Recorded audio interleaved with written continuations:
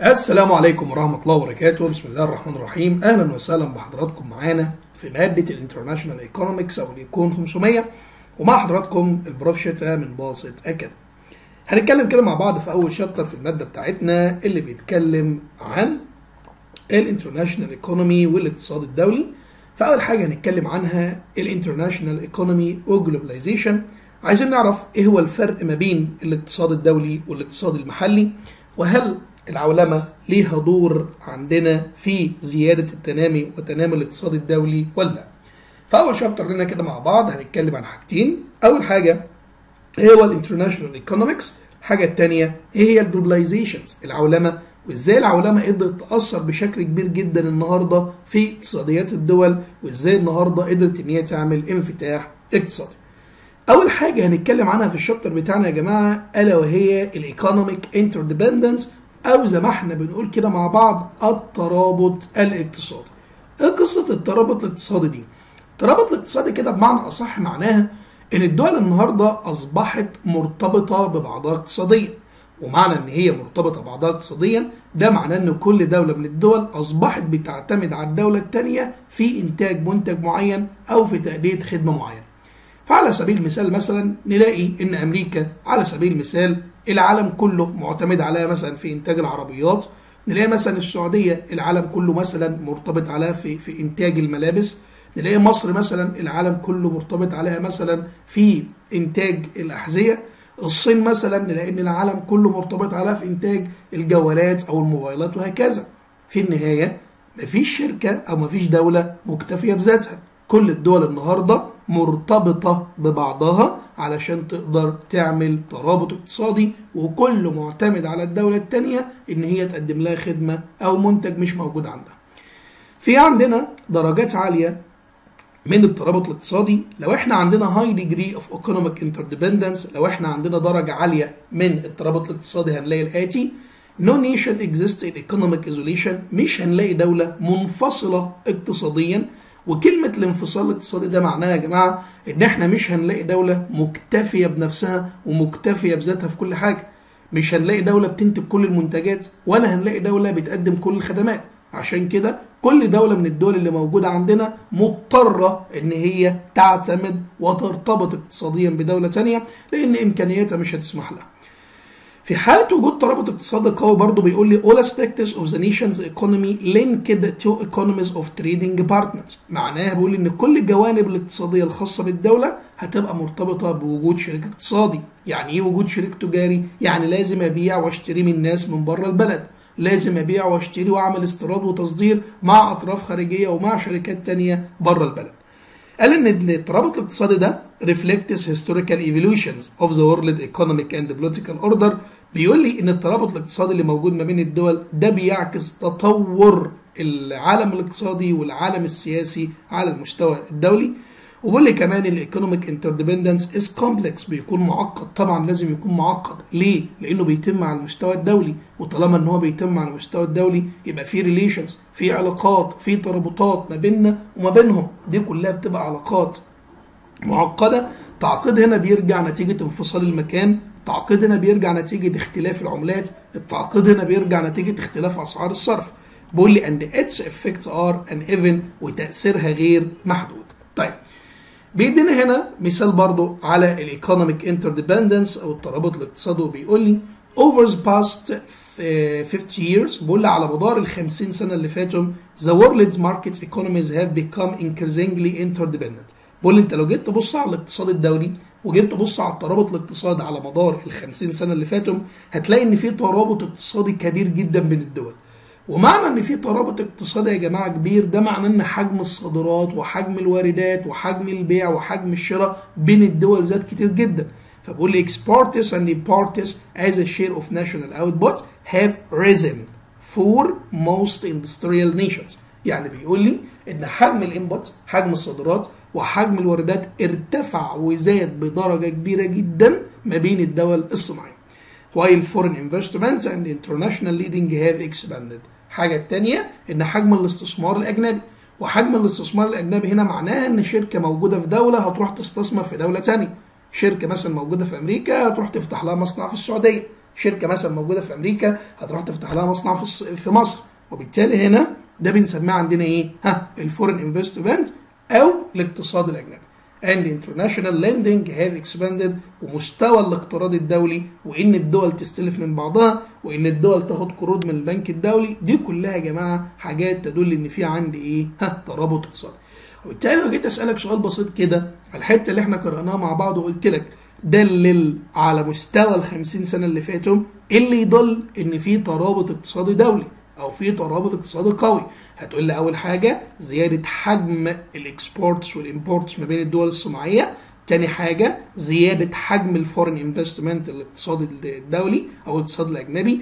تالت حاجة عندنا زيادة ال international lending أو بمعنى أصح زيادة حجم الاقتراض الدولي.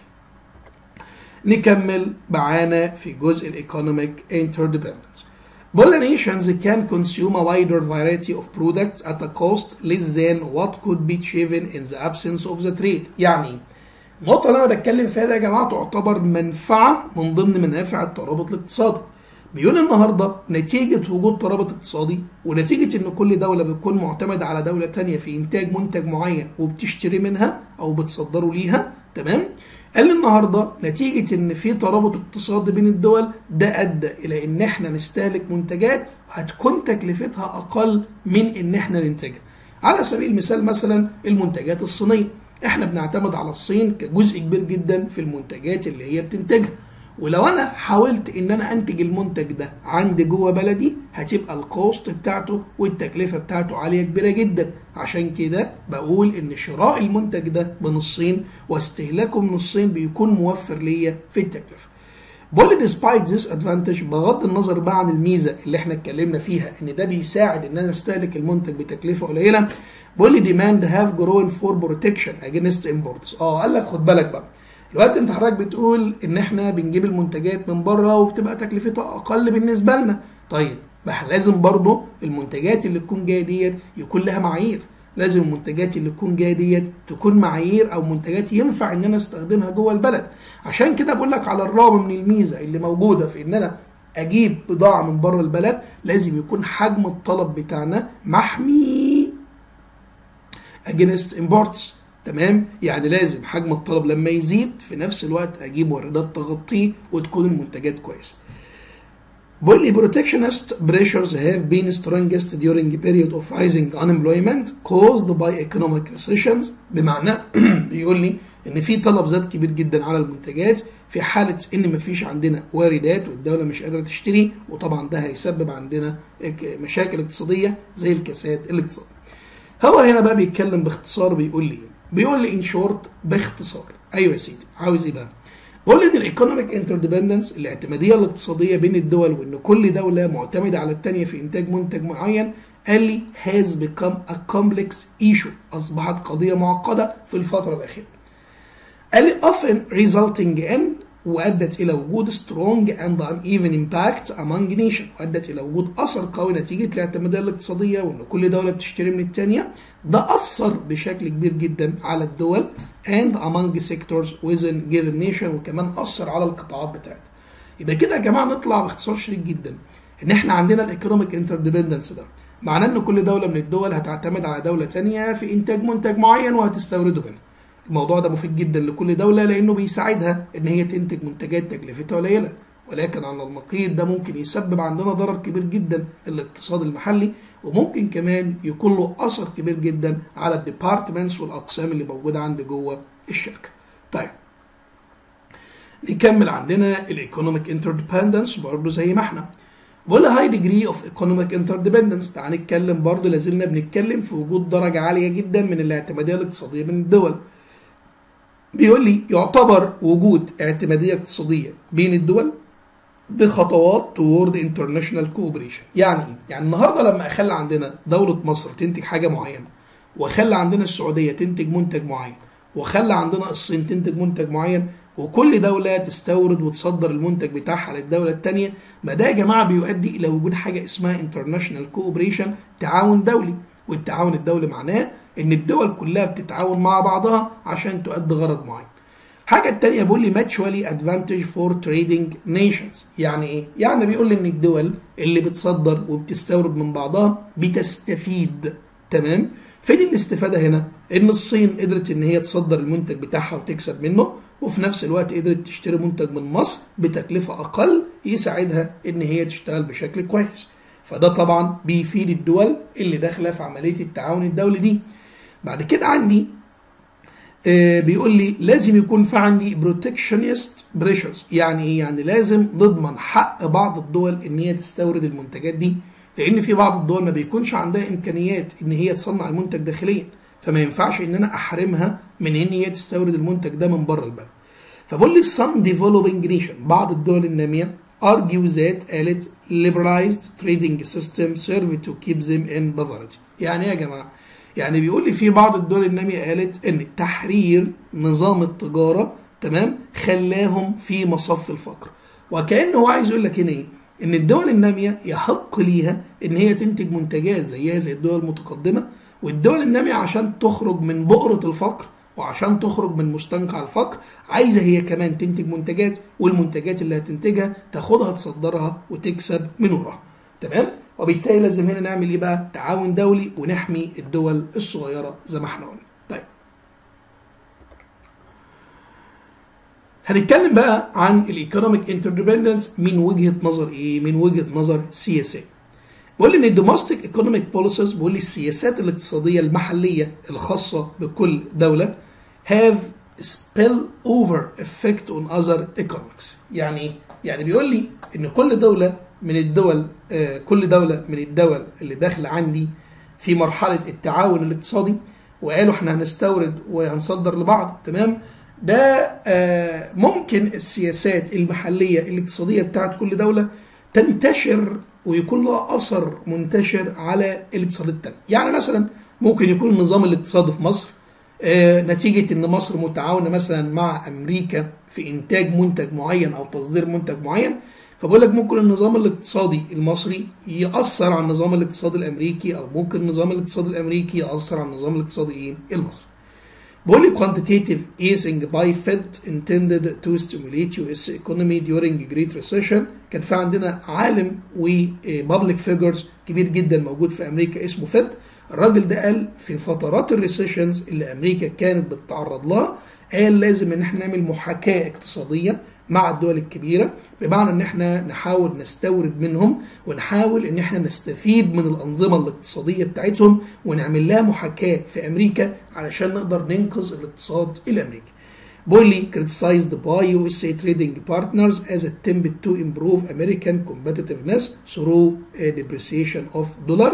طبعا في ناس كتيرة جدا انتقدت السياسة بتاعت فيد وقالوا إن فيد بيحاول يعمل كده علشان يعزز من قوة الدولار الأمريكي في حين إن الدولار الأمريكي ده أصلا كان في الوقت ده منحدر وكانت قيمته قليلة.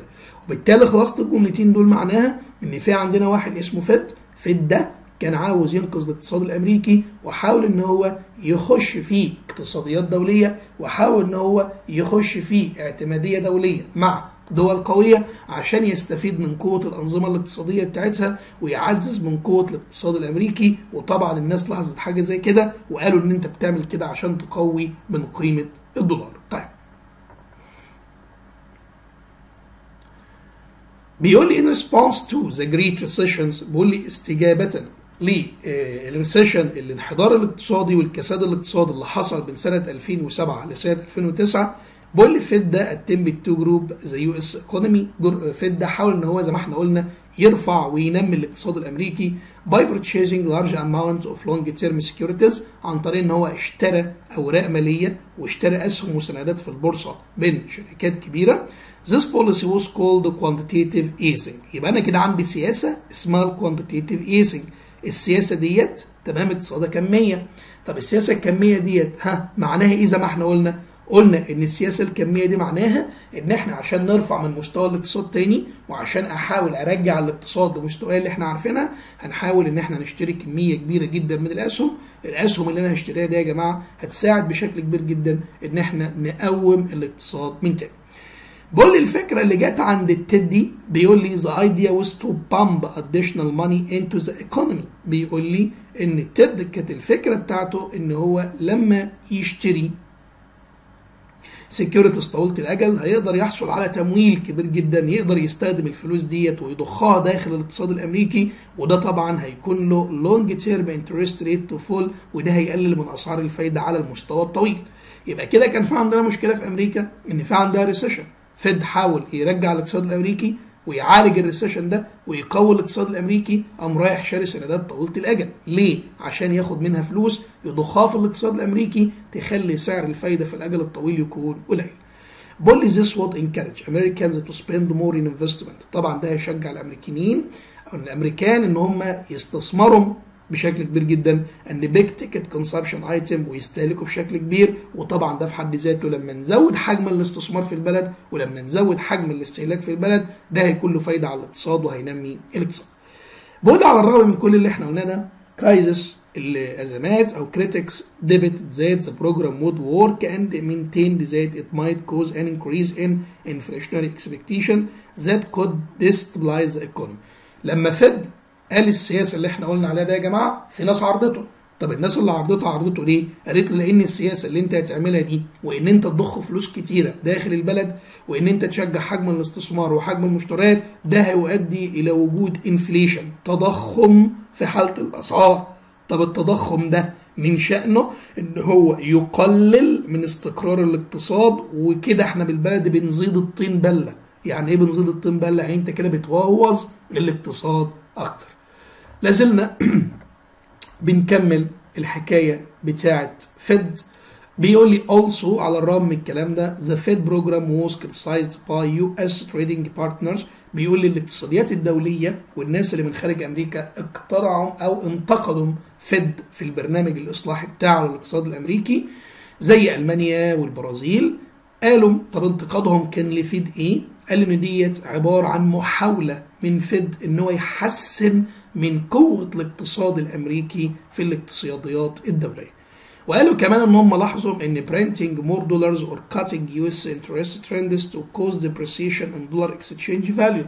قالوا برضو إن طباعة النقود الكتيرة اللي تيد عاوز يعملها وتقليل أسعار الفايدة ده هي هيسبب depreciation in dollars exchange value ده هيقلل من قيمة الدولار أكتر وأكتر. كل ده إن شاء الله هنتكلم فيه بالتفصيل في شابتر 11 يبقى كل اللي إحنا كنا بنتكلم فيه ده القصة بتاعت واحد اسمه فيد ده يعني مصلح اقتصادي في أمريكا. كان بيحاول إن هو يصلح الاقتصاد الأمريكي. اقترح إن إحنا نطبع نقود جديدة. اقترح إن إحنا نشتري سيكيورتيز كانت الفكرة كلها إن أنا أضخ فلوس أكتر داخل الاقتصاد الأمريكي أشجع الأمريكان إن هم يستثمروا. في ناس وافقت على الكلام ده وفي ناس عرضت عليه. واللي عارض كان من جوه البلد ومن بره البلد. نخش بقى في نقطة تانية خالص وموضوع تاني خالص معانا في الشابتر بتاعنا حاجة اسمها الجلوباليزيشنز اللي هي العولمة. وطبعا يا جماعة العولمة زي ما إحنا اتفقنا كده مع بعض وعارفين إن العولمة معناها وجود انفتاح بين الدول. سواء الانفتاح ده انفتاح اقتصادي أو انفتاح فكري أو انفتاح ثقافي أو حتى انفتاح اجتماعي. فبدل ما كانت كل دولة قافلة على نفسها وبدل ما كانت كل دولة بتشتغل مع نفسها النهاردة فتحنا الحدود مع بعض وهنعمل عملية تبادل تجاري تبادل تجاري نبيع ونشتري من بعض وممكن كمان نعمل أسواق دولية لمجموعة من الدول كلها مع بعض. هنعمل عندنا تبادل فكري هنعمل عندنا تبادل ثقافي هنعمل عندنا تبادل تكنولوجي وبالتالي النهارده مع وجود العولمة ومع وجود ال globalization أصبح العالم كله بمثابة دولة واحدة. أصبح العالم كله بمثابة دولة واحدة. تمام؟ فبنقول هنا إن الجلوباليزيشن هي عبارة عن the process of greater interdependence between countries and their citizens. بيقول إن العولمة هي عبارة عن عملية اعتماد كبير ما بين الدول وبين مين؟ المواطنين بتوعها. بقول ده increased international flow ونتيجة وجود العولمة. ده بيزيد من حجم التدفق. لمين؟ للسلع والخدمات وللناس والاستثمارات وكمان المصانع وال stocks وال bond يبقى كل ده بيزود من حجم التدفق ما بين الدول. يعني إيه حجم التدفق؟ يعني عادي إن إحنا نبيع ونشتري من بعض عادي إن إحنا نقدم خدمات لبعض من دول مختلفة عادي إن إحنا ممكن نوظف ناس من دول مختلفة داخل نفس الدولة عادي إن إحنا ممكن نعمل استثمارات في الدول بتاعت بعض عادي إن ممكن يكون عندنا مصانع factories وكمان عندنا stocks اسهم وسندات. ده اللي هو حجم الاستثمار الأجنبي بين كل دولة والتانية. وخلي بالك إن ال globalization العولمه is political technological cultures and economic يعني إحنا لما جينا نعمل عولمه عملنا انفتاح سياسي تمام؟ عملنا انفتاح تكنولوجي وتبادل التكنولوجيا بشكل كبير جدا. عملنا انفتاح وفكر ثقافي تبادل الأفكار وتبادل الثقافة وعملنا كمان انفتاح إيه؟ اقتصادي بإن إحنا بدأنا نعمل أسواق دولية وإن إحنا كمان بدأنا نعمل تبادل تجاري وزودنا حجم الاستيراد والتصدير. نشوف كده بقى دور العولمة في النشاط الاقتصادي وهل فعلا العولمة ليها أثر على النشاط الاقتصادي ولا لأ. بقول لي in terms of people daily lives لو إحنا هنتكلم في الأنشطة اليومية بتاعت الناس globalizations means that residents of one country are more likely now than they were 50 years ago to consume the product of another country. يعني بقول لك النهارده لو إحنا مثلا جينا نتكلم عن دولة معينة وجينا نبص النهارده لسلوك الناس هنلاقي إن أول حاجة حجم الاستهلاك بتاع الناس اختلف كتير جدا وزاد كتير جدا عن أيام زمان. حجم الاستثمار وإن أنا أستثمر في دولة تانية غير الدولة بتاعتي برضه زاد بشكل كبير جدا. Earn income from other countries talk by telephone بمعنى إن أصبح الأفراد النهارده بيكسبوا فلوس من الدول التانية. Talk by telephone to people in other countries أصبح في عندنا انفتاح في التواصل والاتصال. النهارده أقدر أتكلم بالتليفون من دوله للتانية. النهارده أقدر إن أنا أتواصل وأبعت إيميل وأعمل chatting مع زمايلي أو مع أصحابي أو لو أنا شغال في teamwork دولي على مستوى العالم. النهارده الناس بتقدر ت visit other countries يسافروا زي ما هم عايزين. Know that they are being affected by economic development in other countries. وبدل إن هم يشوفوا إن لو حصل تطور اقتصادي داخل دولة معينة ممكن الأفراد اللي موجودين داخل دولة تانية يتأثروا بيه. عن طريق إن هم يروحوا هناك ويعملوا محاكاة للتطور ده وكمان ممكن إن هم يتمتعوا بالرفاهية اللي موجودة عندنا. and know about developments in other countries وقال لك نتيجة برضه التطور الاقتصادي اللي موجود أصبح إن كل فرد موجود في كل دولة بيبقى على دراية وعارف الدولة الثانية إيه حجم التطور الاقتصادي اللي حصل فيها وإيه الاختراعات الجديدة اللي حصلت عندنا. كل اللي إحنا كنا بنتكلم فيها يا جماعة من شوية ده ده اللي هي النتائج بتاعة العولمة، ده اللي هي المظاهر بتاعة العولمة، إن النهارده كل فرد موجود في دولة معينة ما أصبحش الموضوع مقفول عليه وما أصبحش الموضوع خاص بيه لوحده لا ده إحنا عندنا النهارده انفتاح اقتصادي وانفتاح فكري وانفتاح معلوماتي ما بين الدول كلها خلى إن كل فرد موجود في دول كل دولة بيتعامل وكأن الدولة التانية زي ما إحنا اتفقنا كده مع بعض بيتعامل وكأن الدولة التانية هي بلده وبيظهرها وبيحاكي التطورات اللي فيها وهكذا. نيجي بقى نسأل سؤال مهم جدا، إيه هي العوامل اللي أدت إلى وجود الانفتاح الاقتصادي ده؟ إيه هي العوامل اللي أدت إلى وجود العولمة؟ الانفتاح اللي أنا بتكلم فيه ده واللي وإن الدولة أو العالم كله أصبح كقرية صغيرة إيه العوامل اللي أدت للكلام ده أول عامل عندنا اللي هو ال technological changes التطورات التكنولوجية نتيجة ها تطور في عملية الاتصال نتيجة عند وجود الإنترنت وما يتبعه من وسائل التواصل الاجتماعي زي الواتساب زي التليجرام زي الفيسبوك زي الهانج أوت وكل الحاجات دي كلها وسائل التواصل.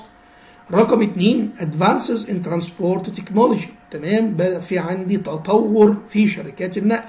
وبدأت عملية شحن البضاعة ونقل البضاعة تتم بشكل تقني عالي جدا وشكل مؤمن.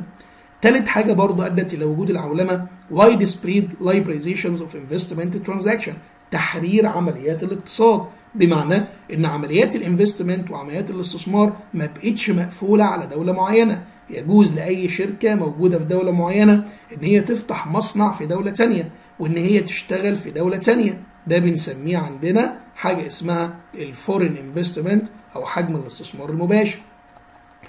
خامس حاجة بقول development of international financial markets بمعنى تطوير الأسواق الدولية. وكلمة تطوير الأسواق الدولية هنا معناها إن بدأ يكون في شراكات دولية ما بين الدول وفي اعتمادية اقتصادية زي ما إحنا اتفقنا وزيادة حجم التبادل التجاري. هيدينا بقى مثال ويدلل على الكلام اللي إحنا قلناه. بيقول لي for example على سبيل المثال Uh, tariffs in industry countries have come down from high double digital in 1940 to about 4% by 2016 يعني بيقول إن حجم التبادل الاقتصادي اللي موجود ما بين الدول الصناعية تضاعف تقريبا ما بين سنة 1940 لغاية سنة 2016 تضاعف بنسبة كام؟ 4% بيقول لي at the same time في نفس التوقيت the most quotas on trade except of this imposed for healthy safety or other public public policy reasons have been removed. طب الكلام ده معناه إيه بقى يا جماعة؟ الكلام ده معناه بيقول لك في نفس التوقيت اللي حجم التجارة زاد فيه الأربع أضعاف ده تمام؟ أو للضعف بيقول لي كان في عندنا طبعا نسب وفي عندنا جمارك على حجم التجارة ولكن في عندنا بعض الخدمات كانت معفية بين الجمارك والضرائب والكلام ده كله. زي مثلا الخدمات الصحية وخدمات الأمن وكمان عندنا أي خدمة للصالح العام عندنا. طيب. بقول له waves of globalization هنتكلم بقى عن الأمواج أو المراحل اللي ال globalizations مرت بيها. في الجزء ده نتكلم عن ال waves of globalizations أو بمعنى أصح كده إيه هي المراحل اللي العولمة مرت بيها. بيقول لي history of globalizations tied to evolutions of trade بيقول لي طبعا إن التاريخ بتاع العولمة كله مرتبط بشكل كبير جدا بتطور النظام التجاري الدولي. لي في أواخر سنة 1700 و1800 mass production and improved transportation made international trade easier بيقول لي في الفترة من سنة 1700 و1800 حصل عندي تطورين مهمين جدا. أول حاجة ال mass production وكلمة mass production ده يا جماعة الإنتاج بكميات كبيرة لأن المصانع والدول بدأت تنتج بكميات كبيرة جدا نتيجة زيادة عدد الناس. والإنتاج الكبير ده وإن أنا أنتج بكميات كبيرة ده بيقلل عندي من تكلفة الوحدة الواحده التحسن الثاني اللي تم خلال المرحلة ديت إن وسائل المواصلات وسائل الاتصال وكمان عندي التواصل الدولي بقت متاحة. وده طبعا من شأنه ساعد بشكل كبير جدا على نمو التجارة الدولية. most goods tradable وخلى إن في عندي بعض المنتجات اللي بتنتجها بعض الدول يتم تصديرها للدول الثانية. يبقى الانتاج كبير الحجم خلى إن في فائض موجود عند الدول تقدر إن هي تصدره. تطور نظم النقل خلى إن في مساحة موجودة عند الناس إن هم يقدروا يعملوا استيراد وتصدير وينقلوا البضاعة بين الدول وده سهل من عملية تبادل التجاري. بيقول لي rise of global manufacturing in 1990 بيقول لي يا سيدي بقى في سنة 1990 بدأ يظهر عندي نمو تصنيعي دولي بمعنى إن النشاط الصناعي بدأ يظهر بشكل كبير جدا على مستوى العالم criticized by geographical fragmentation of productive process and offshoring of industrial task. نتيجة نمو النشاط الاقتصادي أو النشاط الصناعي على مستوى العالم. ده خلى إن بعض الدول ممكن تاخد جزء من العمليات الاقتصادية بتاعتها وتنقلها بره الدولة بتاعتها لدولة تانية بيكون مستوى المواد الخام والعمالة فيها قليل. على سبيل المثال مثلا لو إحنا مثلا عندنا مصنع موجود في أمريكا بيصنع مثلا جوالات أو تليفونات المصنع ده عارف مثلا إن الهند موجود عندهم خامات كويسة وموجود عندهم عمالة مهرة وتكلفتهم قليلة فممكن المصنع الأمريكي بدل ما يصنع التليفون جوه أمريكا لأ ياخد جزء من عملية التصنيع دي وينقلها لمين؟ للهند. يبقى هو كده عمل نقل جزء من عملية التصنيع بتاعته من الدولة بتاعته لدولة تانية.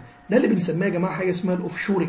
وكلمة offshoring معناها إن أنا هكمل جزء من تصنيع المنتج في دولة تانية. طب أنت رايح للدولة ديت ليه؟ عشان عندها إمكانيات مش موجودة عندي. بيقول لي هنا إن first wave of globalization أول موجة وأول تحرك وأول شكل عولمه ظهر في سنة 1870 لسنة 1914 أول حاجة أول شكل من ضمن أشكال العولمة في الوقت ده إن إحنا بدأنا نخفض من ال traffic أو ال tariff barriers معنى إيه؟ بقى إحنا يعني بنقول كده إزالة الحدود بين الدول. بدأنا إن إحنا عندنا نعمل سهولة انتقال ما بين الدول. الحاجة التانية الفترة دي برضه كان بدأ يظهر فيها مجموعة من التقنيات ومجموعة من التطور التكنولوجي. ده أدى إلى تقليل أسعار النقل زي ما إحنا قلنا. تمام؟ وبدأ وجود عندنا طبعا كباري ما بين الدول وعملية النقل أصبحت بتتحسن بشكل كبير وقلل من التكلفة بتاعتها. الحاجة التانية بقول إن التطور التكنولوجي ده driven by European and American business and individual اللي بدأ يتبنى عملية التطور التكنولوجي ده كان على رأسهم الأمريكان والأوروبيين وده طبعا عشان يخدم مشاريعهم والأفراد اللي موجودة هناك وكان هم رواد التبادل التجاري في هذه الفترة. برضه في المرحلة الأولى من العولمة في سنة 1970 سنة 1870 لسنة 1914 كان حجم exporters as a share of world income nearly doubled to 8% بمعنى بقول إن حجم الصادرات يعني ال- الصادرات المقصود بها البضاعة اللي الدول بتباعها تمام كانت بتشكل ما يعادل 8% من مستوى الدخل الدولي والدخل الدولي هنا أقصد على مستوى العالم وطبعا ده مصدر زاد تضاعف عن أيام زمان. بقول per capita income وكلمة per capita income معناها دخل الفرد الواحد تمام؟ زاد في المرحلة ديت من واحد increased واحد وثلاثة من عشرة per year على سبيل المثال إن كان مستوى الدخل ده من 50 سنة فاتوا كان كام؟ 5 من 10 في المية. يبقى إحنا كده عندنا يا جماعة المميزات أو الشواهد اللي ظهرت في المرحلة الأولى من العولمة. أول حاجة إن حجم الصادرات زاد فده أدى إلى إن مشاركته في مستوى الدخل الدولي تزيد بمعدل 8% مستوى دخل الفرد ذات نفسه زاد وصل ل 1.3 من عشرة تمام مقارنة بنص في المية. طيب. لازلنا برضو في المرحلة الأولى من العولمة. بيقول لي nations that actively participate in globalizations. بيقول لي كل الدول اللي شاركت في العولمة في الفترة ديت become richest country in the world. يعني أي دولة خلال الفترة من 1870 ل 1914 كانت شاركت في عملية العولمة. الشركة الدولة ديت يعني استفادت بشكل كبير جدا من العولمة والدولة ديت زودت مصدر الدخل بتاعها وأصبحت من ضمن الدول الغنية. هنا بقى بيقول إن الموجة الأولى اللي إحنا بنتكلم عنها ديت انتهت مع الحرب العالمية الأولى. طبعا لما حصلت الحرب العالمية الأولى قضت على كل المظاهر وقضت على كل النتائج اللي حققتها المرحلة الأولى أو الموجة الأولى من العولمة. طيب. آه، في سنة 1930 أو سنة 1930 آه كان حصل عندي depression تمام؟ كان حصل عندي depression على مستوى العالم ككل كساد دولي بعد الانتهاء من الحرب العالمية الأولى وقال هنا governments participate protectionism بمعنى إن بدأت الدول تحمي نفسها وتحمي الاقتصاد بتاعها. طبعا زي ما إحنا عارفين يا جماعة إن الحرب العالمية الأولى لما حصلت دمرت دول كتيرة جدا ودمرت اقتصاديات دول كتيرة جدا فده ترتب عليه وجود كساد عالمي على مستوى العالم. نتيجة الكساد ده موجود على مستوى العالم بدأت كل حكومة من حكومات كل دولة تتحرك علشان تحمي نفسها. عملوا إيه بقى؟ raised tariff on imports بمعنى إن هم زودوا حجم الضرائب والجمارك على الواردات. Uh, tried to shift demand into domestic market to promote domestic sales and jobs. بدأت الدول تشجع الاستهلاك على المنتج المحلي والوظائف المحلية وبدأت إن هي تقول إن الناس اللي هتستورد بضاعة من بره هنفرض عليها ضرائب كتيرة جدا. زيادة الضرائب هتؤدي إلى زيادة التكلفة. زيادة التكلفة هتؤدي إلى زيادة السعر فمفيش حد هيشتريها. وبدأت إن هي تشجع على استهلاك المنتج المحلي. ومعنى إن إحنا هنستهلك منتج محلي ده معناه إن إحنا لازم نقلل السعر بتاعه ونشجع المنتج المحلي. بعد كده برضو الحكومة عملت إيه؟ بدأت إن هي تزود بقول لي في الفترة ديت في حجم الكساد الدولي ده بقول إن ال exports as share of national income بيقول لي حجم الصادرات قل من 8% ل 5% ومشاركته في الدخل القومي على مستوى العالم قل من 8% لكام ل 5% طبعا ده كلها نتيجة إيه يا جماعة؟ نتيجة الحرب العالمية الأولى اللي بوظت كل حاجة كانت الموجة الأولى من العولمة عملتها. نيجي بعد كده بقى للموجة الثانية بتاعه العولمة ودي كانت من سنة 1945 لسنة 1980. الموجة الثانية دي يا جماعة عملت إيه؟ أول حاجة renewed incentive for globalization بدأت تقدم حوافز جديدة وتشجع الدول على العولمة من تاني. Falling transportation costs fosters increased trade بدأت إن هي تقلل من تكاليف المواصلات ونقل البضاعة بين الدول وطبعا ده هيشجع على عملية التجارة بشكل كبير. trade liberalizations not uniform بدأت إن هي تعمل تحرير للتجارة العالمية وتحرير التجارة العالمية هنا معناها إن إحنا شلنا كل القيود أو معظم القيود اللي كانت متعلقة بحجم التبادل الدولي. طيب تعال نشوف بقى إيه أثر المرحلة الثانية من العولمة. إيه هو ال differential impact of second wave تعال نشوف كده المرحلة الثانية من العولمة. كان إيه الأثر بتاعها؟ أول حاجة بيقول لي إن ال developed countries largely freed of barriers بيقول لي بالنسبة للدول النامية بدأت تفتح الحدود بتاعتها للتعامل مع الدول المتقدمة وطبعا ده هيكون فيه إفادة كبيرة جدا للدول النامية لأنها تستطيع إن هي تعمل محاكاة للدول المتقدمة. هتتأثر بالنظم الاقتصادية بتاعتهم والتطور التكنولوجي بتاعهم وهتبدأ إن هي تقلدهم وده هيساعدها بشكل كبير إن هي تطور من نفسها. بقول greatly increased the exchange of manufactured goods. بمعنى ده نتيجة إن الدول النامية فتحت حدودها مع الدول المتقدمة. ده زود بشكل كبير جدا تبادل السلع الصناعية وده أدى إلى زيادة الدخل لكلا الدولتين سواء الدولة النامية أو الدول المتقدمة. بالنسبة آه طبعا الكلام هنا كان عن الدول المتقدمة. بالنسبة لل developing countries اللي هي الدول النامية بقى فين مقدار الاستفادة؟ طبعا أنا كان كلامي هنا كله يا جماعة عن الدول المتقدمة ومقدار الاستفادة اللي هي استفادتها. طيب بالنسبة بقى للدول النامية استفادت إيه وتأثرت بإيه في الموجة الثانية بيقول لي only agriculture's export that don't complete أو compete with agriculture in developed country free of barriers بيقول لي تقريبا في الفترة ديت الدول النامية كانت متقدمة في حاجة واحدة بس. في المجال الزراعي والمنتجات الزراعية. ما كانش ولا دولة على مستوى العالم تقدر تنافس الدول النامية في الزراعة باعتباره نشاط بدائي. فكانت الدول النامية متفوقة في الحتة دي وده كان يعتبر مصدر دخل بالنسبة لها. لكن الدول المتقدمة كانت في المرحلة ديت متفوقة فين؟ في السلعات الصناعية في مجال التصنيع. لكن الدول النامية كانت متقدمة في مجال الزراعة. طيب نكمل برضو الأثر بتاع المرحلة الثانية قال لي تاني حاجة موجودة عندنا new kind of trade بدأ يظهر عندي أنواع جديدة من التجارة ما كانتش موجودة قبل كده. Rich country specialization in manufacturing niches بمعنى إن في الدول الغنية بدأت تزود مجالاتها وتتخصص بشكل كبير جدا في الجوانب الصناعية. وطبعا اللي كان شغال في المجال الصناعي في الفترة ديت هو كان أكتر حد مستفيد من العولمة. gained productivity through agglomeration economies بمعنى بيقول لي هنا إن الصناعات أو الدول المتقدمة قدرت إن هي تزود الإنتاجية بتاعتها عن طريق تجميع التجميع الاقتصادي والتجميع الاقتصادي هنا اللي هو ال agglomerations economies يعني إيه التجميع الاقتصادي يا جماعة؟ التجميع الاقتصادي معناها إن الدول بدأت إن هي تجمع المصانع على مستوى العالم ويعملوا حلقات إنتاجية وبدأ دولة موجودة في أمريكا تتعاون مع دولة موجودة في إيطاليا تتعاون مع دولة دولة موجودة في في الهند مثلا والثلاث مصانع دول يشتغلوا مع بعض متعاونين مع بعض في إنتاج المنتج ده. فالتجميع الاقتصادي ده كان متمثل إن firms clustered together إن الشركات كانت بتحط ايديها في إيدين بعض ويصنعوا مع بعض.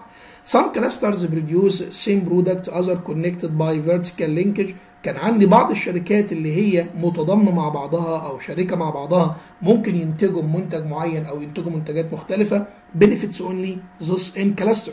وكانت الشركات اللي بتستفيد من الحركات دي أو التجمع ده هي الشركات اللي داخل التجمع بس. أي شركة تانية كانت بره التجمع ومش داخلة ضمن التجمع الاقتصادي ما كانتش بتستفيد وبالتالي نطلع من الحته دي بنقطة مهمة جدا إن بدأ في المرحلة الثانية من العولمة يظهر نظام التكتلات الاقتصادية والتكتلات الاقتصادية معناها إن في أكتر من مصنع موجود في أكتر من دولة هيحطوا إيدهم في إيدين بعض ويتعاونوا مع بعض إن هم ينتجوا منتج معين والاقتصاديات بتاعت الدول اللي المصانع كانت بتبقى داخلة فيها دي هي دي بس اللي كانت بتستفيد منين؟ من العولمة. بيدينا هنا مثال اهوت وبيقول لي إن Japanese auto companies الشركات اليابانية شركات السيارات في اليابان على سبيل المثال become famous for insisting that their parts manufacturers located within a short distance of main assembly plants بمعنى بيقول لك اليابان باعتبارها كانت رائدة صناعة السيارات في الوقت ده. بدأت إن هي توفر قطع الغيار بتاعتها إن هي تكون موجودة في أماكن بالقرب من مصانع التجميع اللي بتجمع بتجمع العربيات عشان يقدروا إن هم يشتروا ال part ات بتاعتها. بقول لي for companies بقول لي بالنسبة للشركات زي مثلا شركة تويوتا وهوندا this decision decrease the cost of transport coordination monitoring and contracting الحركة اللي الشركات اليابانية عملتها إن هي وفرت قطع الغيار بتاعتها بالقرب من مصانع تجميع السيارات ده وفر التكلفة بشكل كبير جدا سواء كانت تكلفة النقل أو تكلفة التنسيق أو حتى تكلفة التعاقد أو المراقبة على شركات تجميع السيارات زي شركة تويوتا وشركة هوندا. بقول له الزو على الرغم ان التكتل الاقتصادي ده بيفيد benefits those in the clusters بيفيد مجموعة الشركات اللي بتتكتل مع بعضها وبتحط ايدها في إيدين بعض زي مثلا ما قلنا على سبيل المثال إن آه، الشركات اليابانية تكتلت مع بعضها تويوتا مع هوندا مع مع حطوا إيدهم في إيدين بعض وبدأوا يوفروا لبعض قطع الغيار ويشتغلوا بالقرب من بعض. ده طبعا بنسميه cluster. ال cluster ده يا جماعة أو المجموعة ديت هي الوحيدة اللي هتستفيد. بقول على الرغم إن التكتل الاقتصادي ده بيفيد ال clusters they are bad news for those who are left out. تمام؟ اللي هيسيب التجمع ده ويمشي هيتضر بشكل كبير جدا. A region can be uncompetitive simply because not enough firms have chosen to locate there. بمعنى إن بيقول لك طول ما الشركات اللي داخلة مع بعضها في cluster شغالة مع بعض هيبقى الموضوع زي الفل. لو في شركة من دول خرجت بره ال cluster ده هيقلل من الفعالية بتاعة ال cluster وبالتالي ممكن مجموعة ال cluster دي تفقد فعاليتها في المكان اللي هي شغالة فيه. لازلنا بنتكلم عن المرحلة الثانية من العولمة اللي كانت ما بين 1945 ل 1980 بقول لي بقى بالنسبة لل developing countries as a group left behind الدول النامية بقى كان وضعها إيه في الحوار ده؟ بقول لي الدول النامية في الوضع ده continuing trade barriers لا زالت كان موجود عندها حدود مع التجارة يعني ما كانتش فاتحة أبوابها ما كانتش فاتحة أبوابها مع الدول المتقدمة وكانت لسه قافلة على نفسها. Unfavorable investment climate كانت الدول النامية في الفترة ديت مناخ الاستثمار عندها مش مشجع الدول المتقدمة إن هي تروح تستثمر عندها. anti trade policies كان بينزلوا عندنا سياسات ضد التجارة بتاعتها. Dependence on agriculture كان بيعتمدوا على الزراعة وكمان عندي الموارد الطبيعية. يبقى ده كان وضع الدول النامية في المرحلة الثانية من العولمة ما كانوش فاتحين أبوابهم للتعاون مع الدول المتقدمة ولا حتى كانوا فاتحين ولا كانوا حتى بيحسنوا من الدولة بتاعتهم عشان تبقى مناخ اقتصادي للاستثمار مع الدول الأجنبية. هنكتفي بالجزء ده في الفيديو الأول من الشابتر بتاعنا وإن شاء الله لسه لنا فيديو تاني هنتكلم فيه عن بقية الشابتر بتاعنا. شكرا ليكم ونشوفكم دايما على خير إن شاء الله.